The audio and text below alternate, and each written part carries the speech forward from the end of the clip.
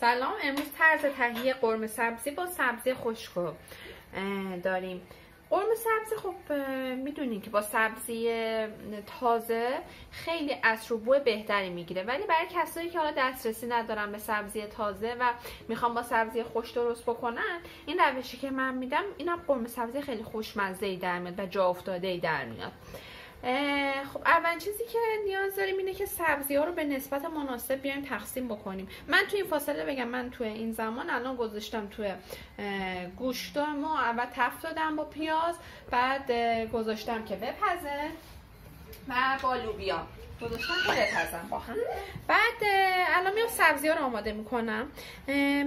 سبزی که احتیاج داریم سبزی ترست و جعفری گیشنیز و شنبلیله.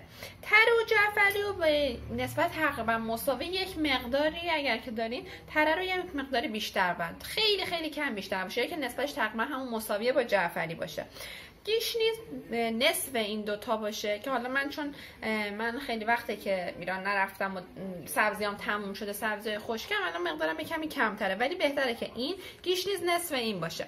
و شنبیله هم که استفاده می‌کنی خیلی کم به مقدار یک یا دو قاشق. چون که اگر که مقدار زیاد باشه تلخ می‌کنه قرمه سبزی خب معمولا تره که دارین تره که خوش شده معمولا کمی مثلا گرد و خاکاش و اینا بیشتر و نیاز داره به تمیزی بیشتر. من اینو تو مقدار زیادی آب خیس کردم گذاشتم اینجا هم زدم با قاشق و اینا که قشنگ به همه جاش خیس بشه. و می‌ذارم مثلا یه مثلا 10 دقیقه یه رو بی بمونه که یه کمی هم سب... خاکاش تهنشین بشه. بعد اینو آبکش می‌کنم و اون و اونی که روی سبده رو استفاده می‌کنم. اینو گذاشتم کنار. ولی این یکی ها که یعنی جعفری و کیشنیز و شنبینه اینا معمولا تمیزن. یعنی اگر که حالا از جای که می‌شناسین تهیه بکنین جایی که مناسب باشه معمولا خیلی گرد خاک و گرد خاک ندارن. اینا رو من میام میریزم. اول نسبتش رو درست کردم. میام میریزم توی این توی یه کاسته میریزم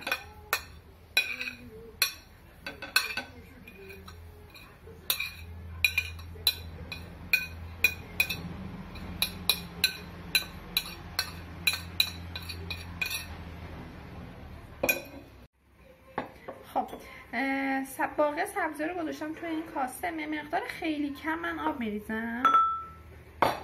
و با چنگان هم می‌زنم. آبی که استفاده می‌کنی آبش نباید زیاد باشه که یعنی اضافه نیاد تقریبا همه این آب رو جذب کنه آب کمه. کم کم اضافه می‌کنم که یهو خیلی آب زیاد نیاد.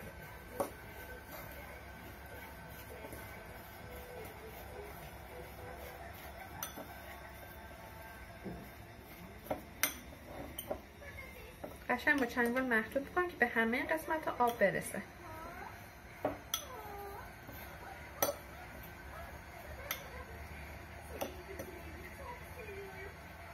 ببینید سریع جذب می‌کنه. هنوز یه مقداری آب جا داره چون هنوز نمونده یه کمی دیگه من آب میریزم.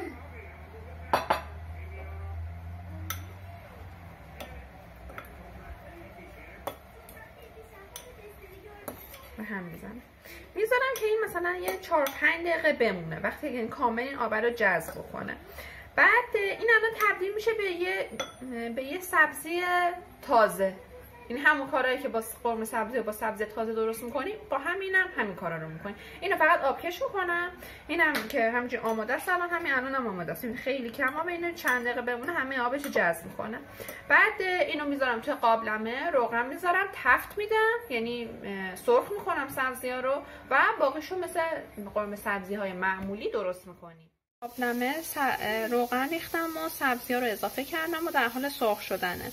و بعدش هم مواد رو بهش اضافه می‌کنم. من داخل قابلمه مسی قرمه سبزی معمولا می‌ذارم چون که خیلی خوشمزه میشه و خیلی جا افتاده میشه.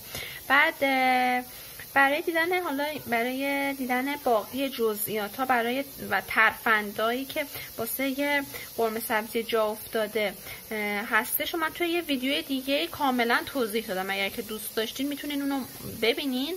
و الان توی این مرحله که رسیدم باقیشون عین قرمه سبزی قرمه سبزی عادی دیگه. یعنی با سبزی تازه عین همون کاراشو انجام